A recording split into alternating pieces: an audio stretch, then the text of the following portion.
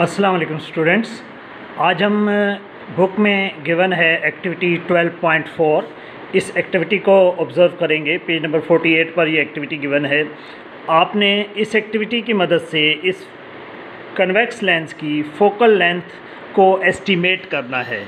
ये हमारा क्वेश्चन है how can we estimate the focal length of a convex lens by using a simple activity और experiment सबसे पहले आपने ये करना है कि एक कन्वेक्स लेंस को स्क्रीन के सामने एक ख़ास डिस्टेंस पर रखना है।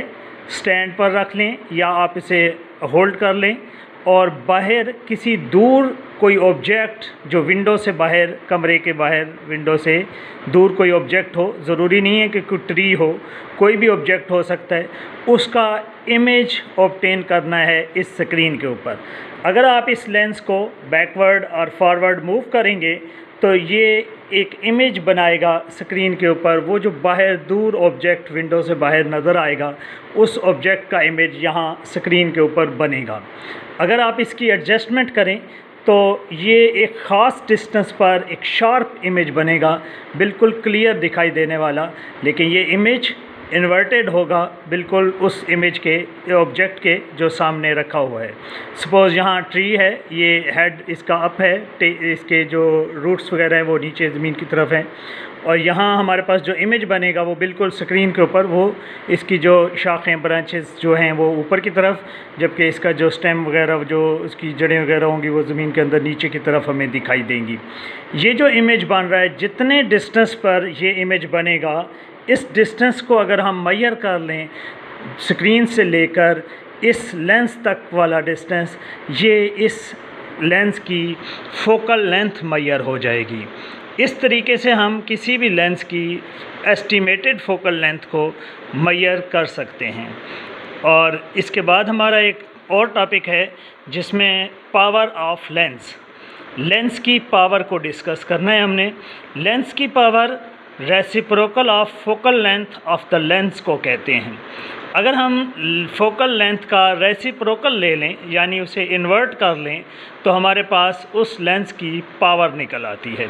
यहाँ पावर से मुराद ये जो हमने पिछले नाइन्थ की क्लास में आपने पावर का टॉपिक पढ़ा है work done rate of doing work is known as power उससे डिफरेंट है। ये पावर ऑफ़ लेंथ से मुराद यहाँ उसकी फोकल लेंथ का रेसिप्रोकल लेना है। One over focal length equal to power of lens लेकिन ये याद रखें, जब आप रेसिप्रोकल ले रहे हैं तो फोकल लेंथ को यूनिट क्या होना चाहिए? मीटर में होना चाहिए।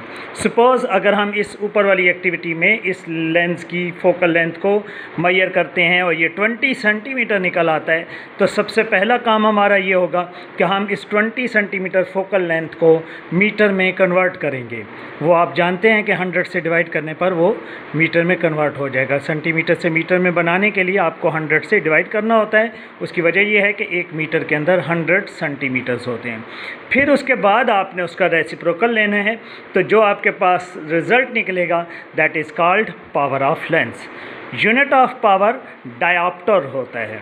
डायोप्टर ये यूनिट उस वक्त होता है अगर हम एक फोकल लेंथ किसी लेंस की वन मीटर हो और उसका रेसिप्रोकल लें तो हमारे पास जो पावर निकलेगी, वो वन डायोप्टर निकलेगी। इसलिए हम कहते हैं one dioptre equal to per metre इसे आपने पर मीटर रीड करना है। मीटर का रेसिप्रोकल पर मीटर कहलाता है।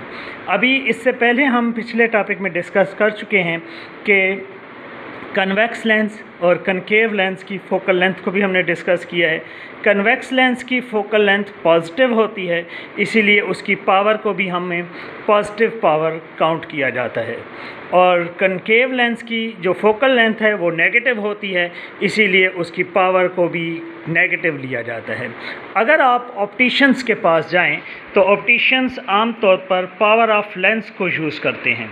जब हमारी ग्लासेस वगैरह तैयार की जाती हैं, या हमें एनक वगैरह बनवानी होती है, हम ऑप्टिशंस के पास जाते हैं तो उन्हें हम नंबर बताते हैं। एक ख़ास किस्म का नंबर बताया जाता है कि मेरी एनक का नंबर वन नंबर है वन पॉइंट फाइव नंबर की एनक बनानी है टू नंबर की एनक बनानी है।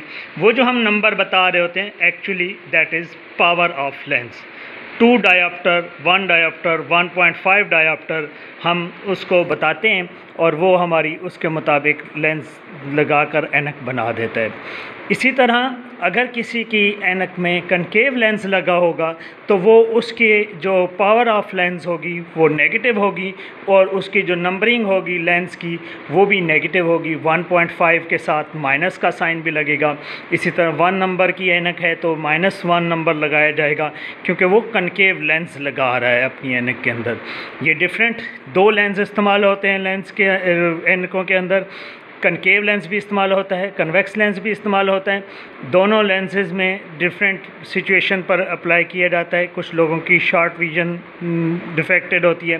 कुछ लोगों को लॉन्ग जो है विजन है वो डिफेक्टेड हो जाती है, जिसकी वजह से उनको डिफरेंट लेंस लगाए जाते हैं। आई थिंक आपने इन दोनों टॉपिक को अंडरस्टैंड कर लिया है। इन आप इसको बुक में स्टडी करें। अगर कोई प्रॉब्लम हो तो आप क्वेश्चन कर सकते हैं। शुक्रिया। अल्लाह हाफिज़।